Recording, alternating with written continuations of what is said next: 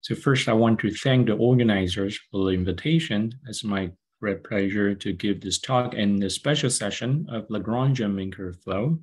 Today, I will talk about the construction of special Lagrangian fibrations on log-Calabi-Yau surfaces. And this will be the first part of the talk. And this is a joint work with Tristan Collins and Adam Jacob.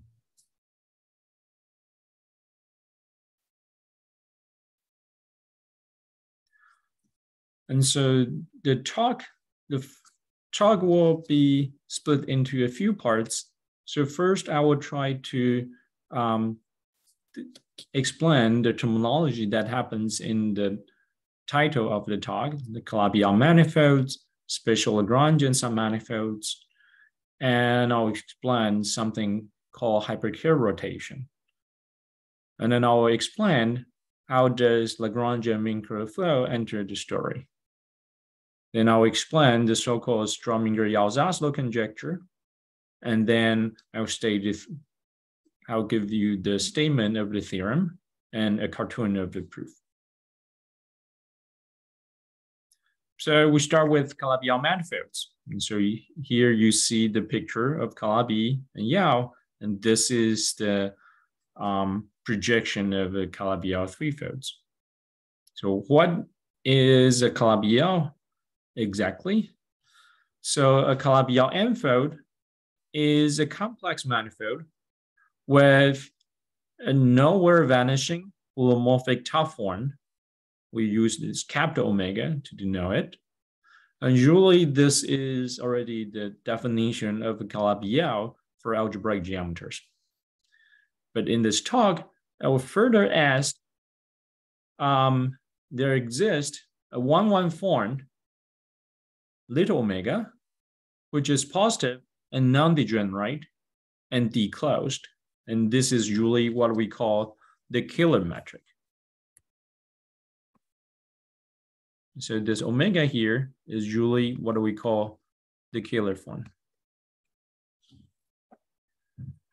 But more than that, I'll ask that this um, little omega will satisfy an equation such that it wedged to the top. It's now become a, a real 2n form, and that's equal to the capital omega, wedged with its complex conjugate up to some constant. And this is what usually people call the complex Monge-Ampère equation.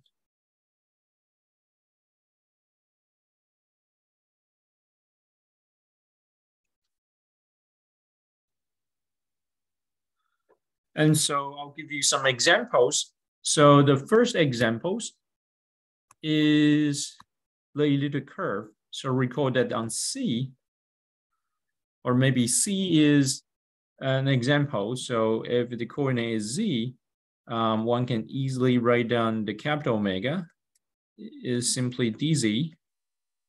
So it's easy to see that it's a nowhere vanishing holomorphic one form. And little omega is simply dz with dz bar and with some constant in front. And it's easy to see that it's a Calabi-Yau with the definition above. And so an elliptic curve as C was quotient by a lattice and the above structure um, would descend to the quotient. And so an elliptic curve is always a Calabi-Yau and the sense above. And same thing to complex tori. And so there are some more complicated examples. Um, so if you consider a degree n plus one hypersurface inside projected uh, m space, n-dimensional projective space, they're always Calabi-Yau um, by a junction formula.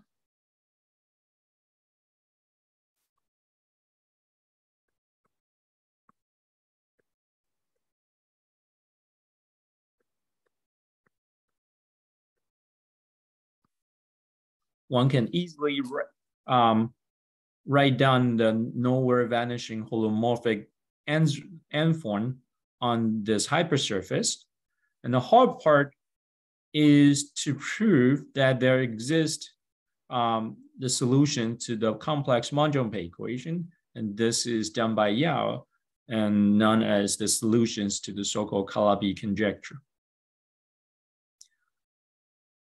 And so there's not, so there are also non-compact Calabi Yaos. And so an important class of non-compact Calabi Yaos are given by Tian and Yau, and which were described in more details later.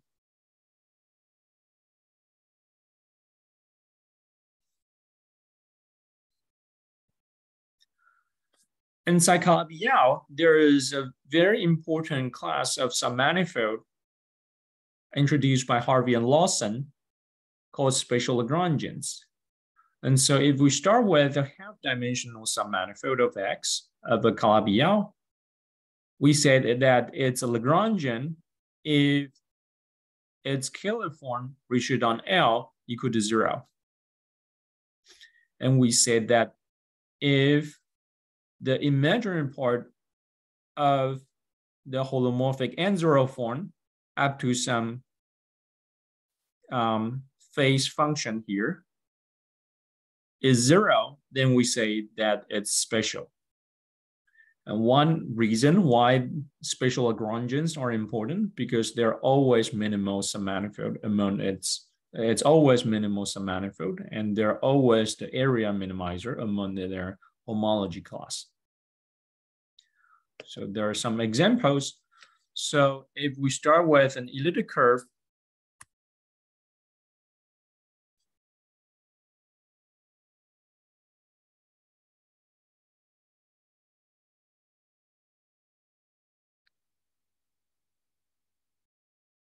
recall that we have the Kähler form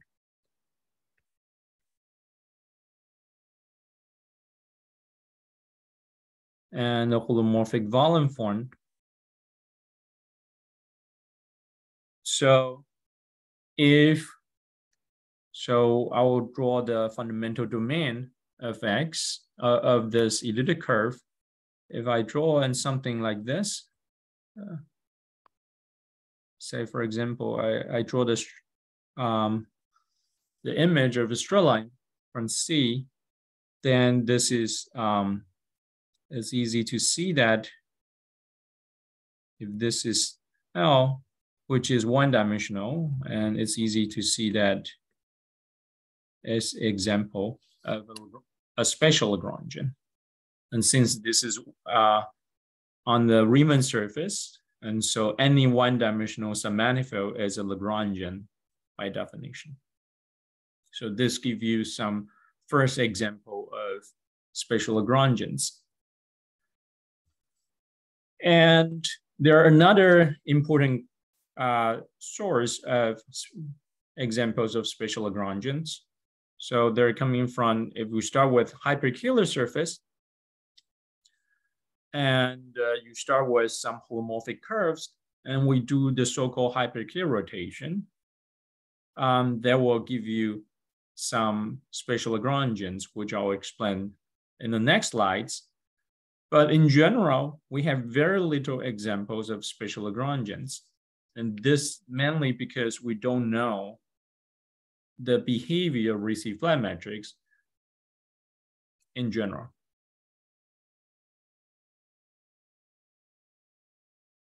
So I will say more about what is hyperkähler rotation. So any Calabi-Yau surface is hyperkähler in the sense that um, a hyperkähler surface is manifold as something was um, holonomy group in SPN. And because SP1 is isomorphic to SU2. And so any Calabi-Yau surface, they're, they're always hyperkähler. And so a characteristic of hyperkähler surface or hyperkähler manifolds is that they will have an S2 family of complex structures And here I wrote down um, the Kähler form and the holomorphic volume form on the correspond respect to the corresponding complex structure. And I will particularly write down the, the uh, explicit uh, 1 1 form and 2 0 form respect to the complex structures parameterized by the equator.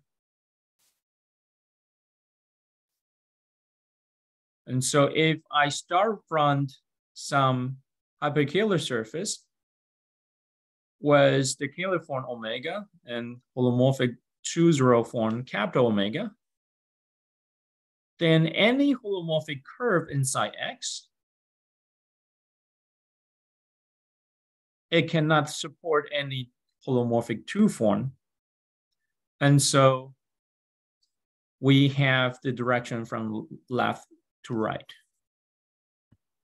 On the other hand, um, so the, the other direction is given by the so-called Wirtinger inequality.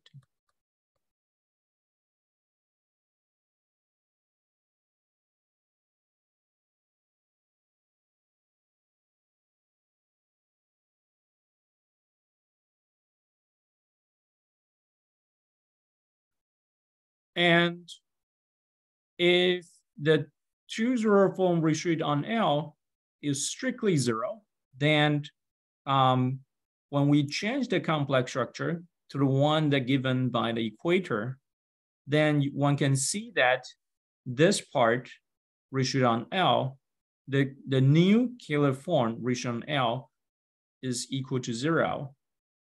And the new holomorphic volume form has their has its imaginary part on L equal to zero. And this is exactly the definition of special Lagrangian. In other words, if you have a hyperkähler surface, you start with a holom holomorphic curve in that, you can always change to a different complex structure such that it becomes special Lagrangian. And this is usually known as the hyperkähler rotation.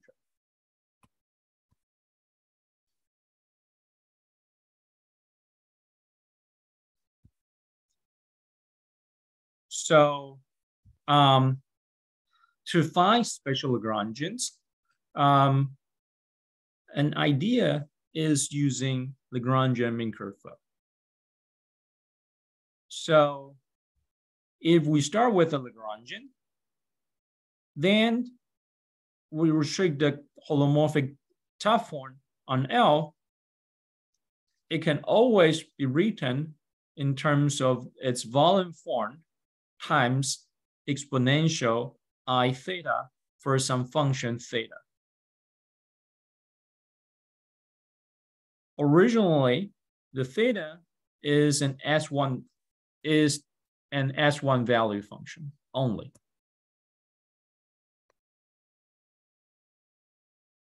A priori, S is an theta is an S1 value function. If we can lift to um, a function with value in R, then we said L as a graded Lagrangian. And so by def from the definition above, if theta is a constant, then we say it's a special Lagrangian.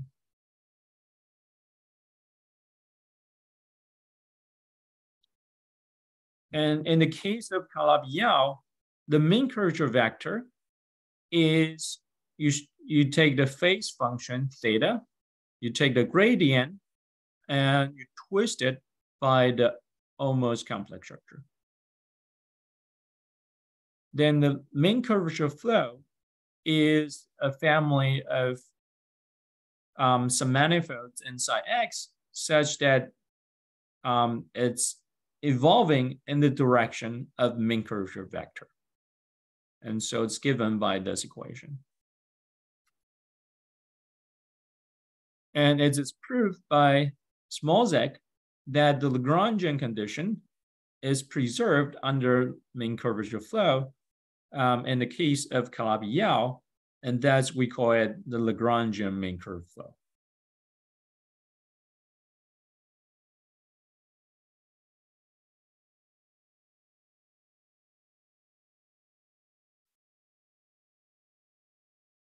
And Lagrangian mean flow has a good property that it preserves the so-called Hamiltonian isotopic class, which is an important property for people doing symplectic geometry.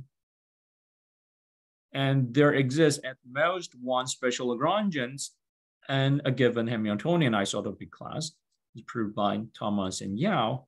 And they propose to use this Lagrangian mean curve flow to find the unique special Lagrangian representative.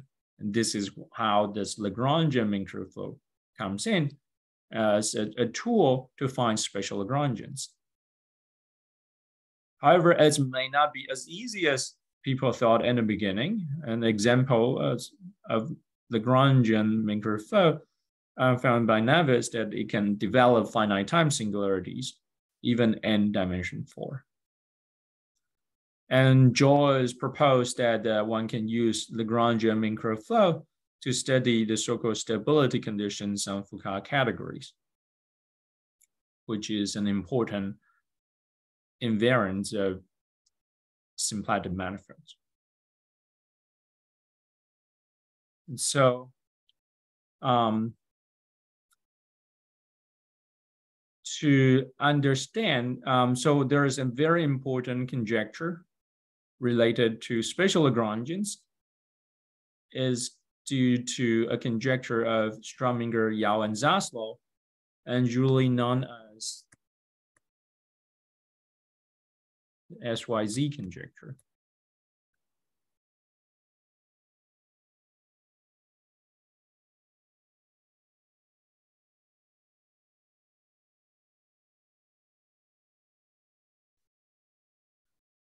And this conjecture says that a Calabi-Yau will admit a special Lagrangian torus fibration. In other words, if you have an X Calabi-Yau, then you're going to expect that uh, it has a smooth map to X, and then the fibers are torus, and they're special Lagrangian.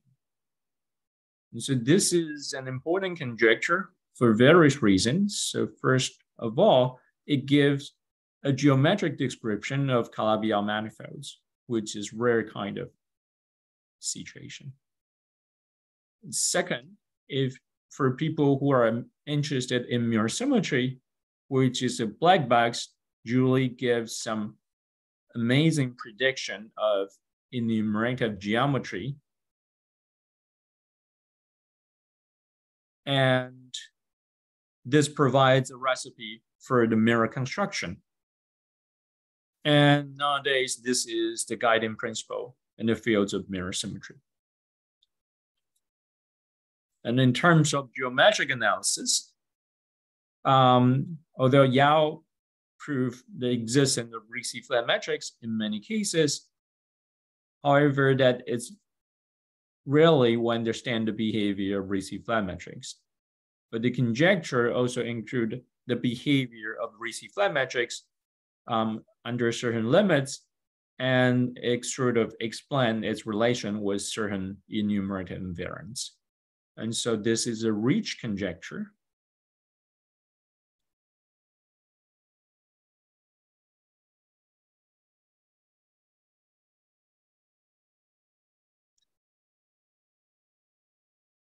So I will have uh, um, an example. So maybe I should say that. Um, so the first example one can have is that, um, again, back to elliptic curve.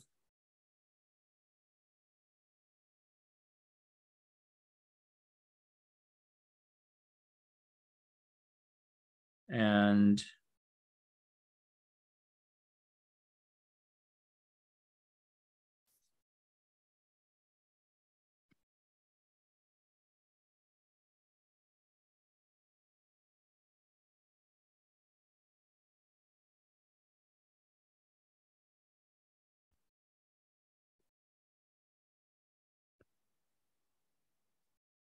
So this is a fundamental domain.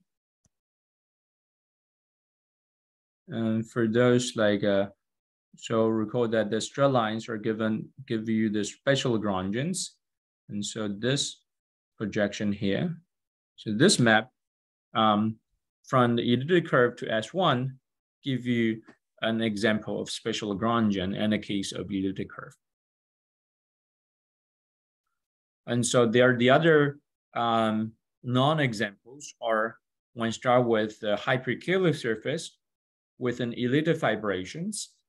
And then one can use the so-called hyperkähler rotation trick to make the elliptic fibrations into special Lagrangian fibrations. In general, these are the only examples that's known in the literature.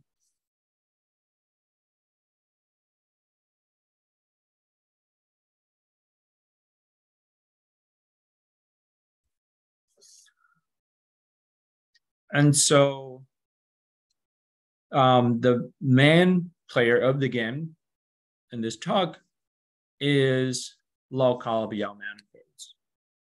And so what I mean by that is we start with a compact, compact complex manifold with positive curvature. And usually these are known as the Fano manifolds. If I can write down a meromorphic top form on Y with a simple pole along a divisor D, then usually we call this D the anti-canonical divisor.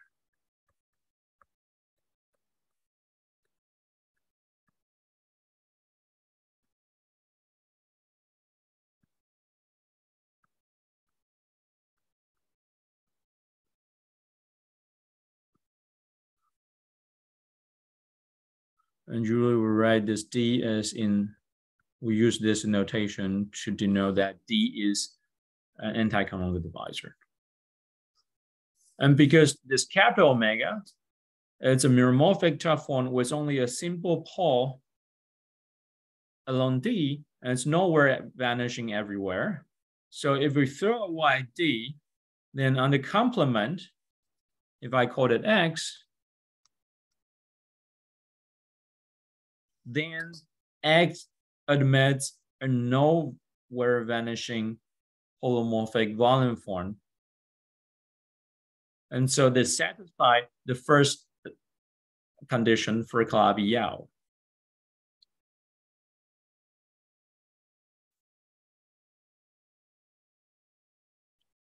And so the theorem of Tian Yau is that there exists a complete Ricci flat metric, namely a Kähler metric that solves the complex Monge-Ampère equation on X.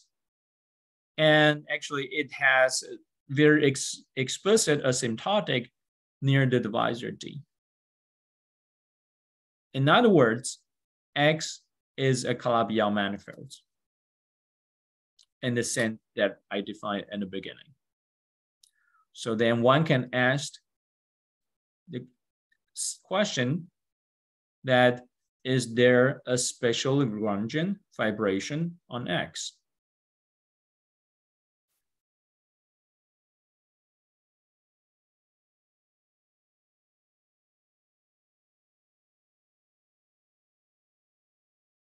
And this is proof in the theorem that I want to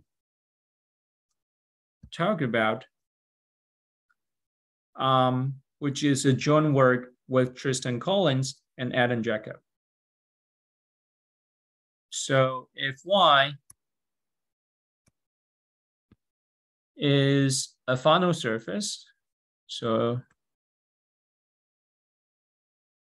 another, um, so it's a compact complex surface was positive, uh, was positive curvature. And if D is an anti-canonical divisor, which is smooth,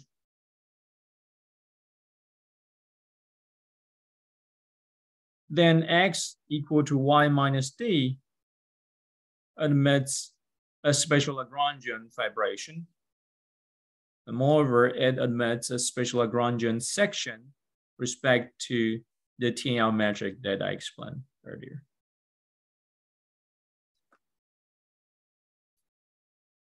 So from the classification of compact complex surfaces, so this Pezzo surface, they're either P1 times P1 or Brouwer P2 at generic D points, and D can vary from zero to eight.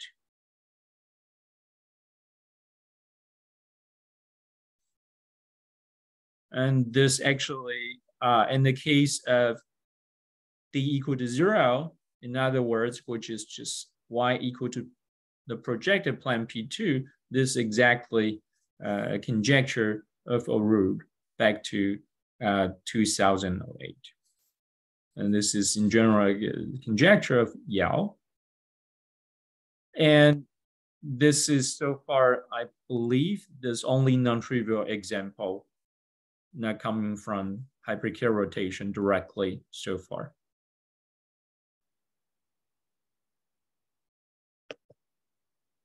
So I will give you a Katuno proof. So first, we'll construct um, special Lagrangian ansatz near D.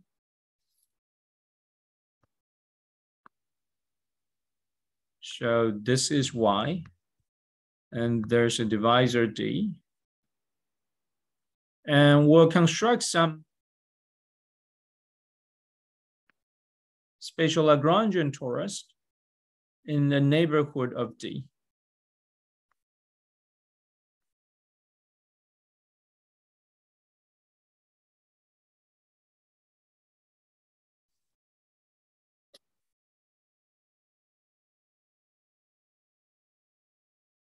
So they are very, they will be very close to special Lagrangians as the first step.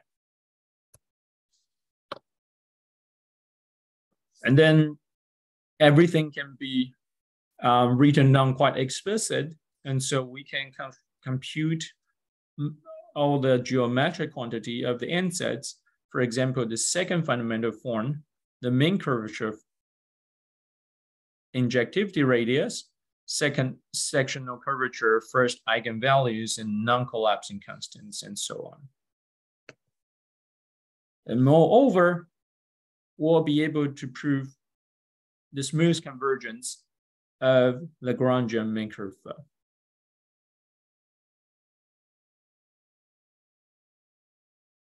So let me go back to a few slides earlier. When we look at the Lagrangian mean curve flow in this equation here, if one can prove the smooth convergence, then one can see that the left-hand side equal to zero. That means that Lagrange, that means that the mean curvature vector equal to zero.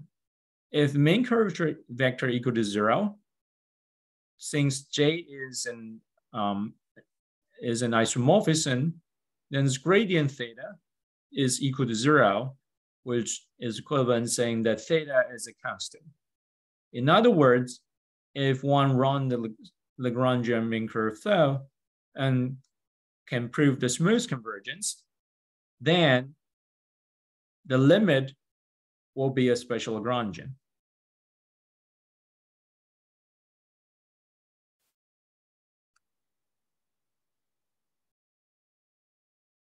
And this exactly what we proved here. And I will say a little bit more on this smooth convergence. So actually, um, we can um, write down an ansatz special Lagrangian near a neighborhood of D.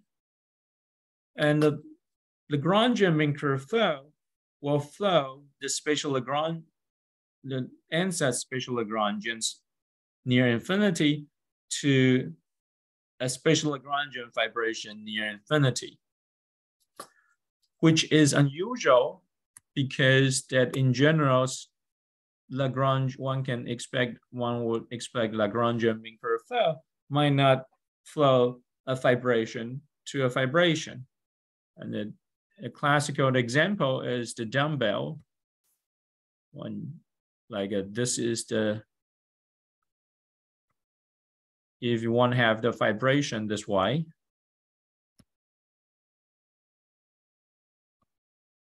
and then one can see that the, the curve in the middle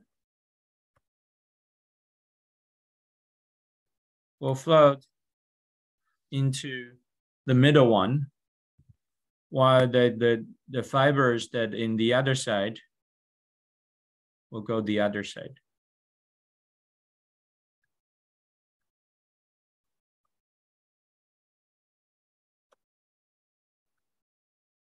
And so it will not the flow uh, fibration to a vibration or even tear the geometry. And so the reason why in this case that it can be true is some idea that coupled with Lagrangian Floer theory. And the idea is as follows. So as we mentioned earlier, the Lagrangian mean curve flow preserves the Hamiltonian isotopy class. And let's say if I have two ansatz special Lagrangian. And we use phi L and phi L prime to be in their limit since we claim we can prove the uh, smooth convergence. Then we claim that, that they cannot be equal to each other. And this coming from a simple observation from Floer theory. There is an invariance of Lagrangians called Floer homology, HF. And the Floer homology between the Lagrangians is invariant under Hamiltonian isotopy. And since the Lagrangian mean flow preserved the Hamiltonian isotopy class, the, Hamil the Floer homology between L and L prime and the Floer homology between phi L and phi L prime should equal to each other.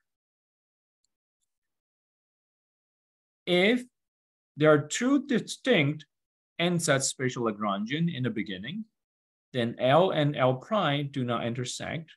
And so the Floer homology between L and L prime should equal to zero by definition. On the other hand, if their limit of Lagrangian curve flow coincide, then these two Lagrangians coincide, and the Floer homology is reduced to the cohomology. It, it's reduced to the homology or cohomology of phi L, and which is non-zero, and one leads to a contradiction. And so there is an interesting interplay between Lagrangian flow and Floer theory here. Once you get um, a local fibration near infinity, one can further um, use the techniques of J holomorphic curves. Recall that now we're in a hyperkähler surface, the smooth convergence of Lagrangian mean curve flow for the ansatz special Lagrangian give us some special Lagrangian torids inside this hyperkähler surface.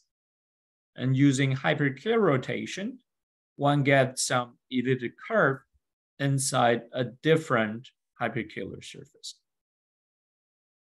Now we can use the technique of J holomorphic curve to deform the elliptic curve inside the new hyperkähler surface to form a fibration. And then we use the surface theory um, to study the possible singular fibers. Now, one can know exactly what kind of this surface is using algebraic geometry. Then we can do a hyperkähler rotation back to get the special Lagrangian fibration in the original space. And that is the idea of the proof. Thank you.